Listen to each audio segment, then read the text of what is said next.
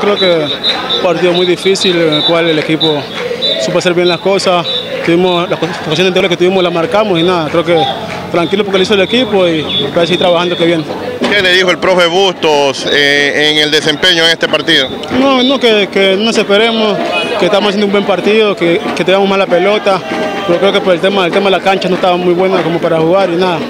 Puede que el equipo se mueva a tres y es muy importante. El día miércoles tienen un partido importantísimo en Copa Libertadores de América frente a Caracas Fútbol Club. Esperemos como todos ecuatorianos que clasifiquen en la siguiente fase y que se vengan con esos tres puntos acá a nuestro país. Sí, sí, esa es la idea. Sabemos que es un partido muy complicado el día miércoles.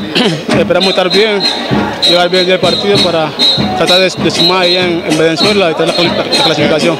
Muchas gracias a ti y un saludo para Salcero del Deporte. Que les vaya bien. Un saludo para Salcero del Deporte. Muchas gracias. Gracias.